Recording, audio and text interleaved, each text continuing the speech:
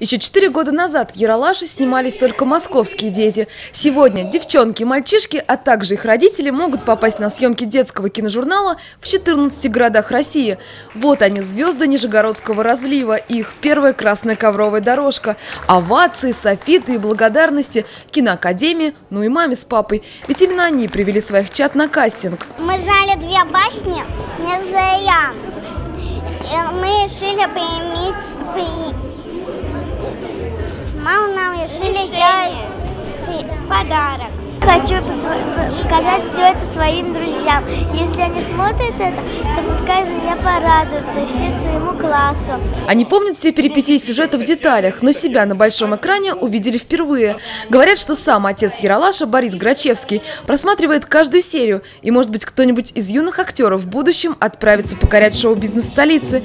Но пока они и без этого вдохновлены первым опытом прикосновения к магии кино. Мне понравилось все эти тренинги, которые мы учили, и потом мы снимались. Были интересные моменты, когда мы снимались, посмотреть фильмы, фильмы других детей, которые снимались здесь, моих друзей. И мои интересные моменты были... Мой фильм был самый любимый, который участвовала моя мама и я. Там очень весело было и, и прикольно. Интересно.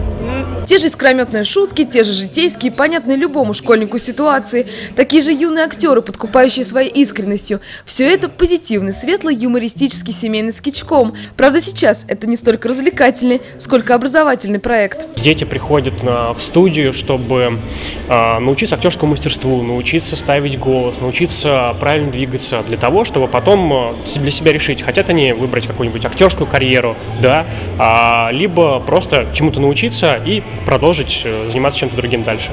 Культовому киножурналу в этом году исполняется 40. И нижегородский вариант Яралаша можно смело назвать младшим братом юмористического сериала. А однажды страна увидела на киноэкране сына тогда еще президента России Дмитрия Медведева.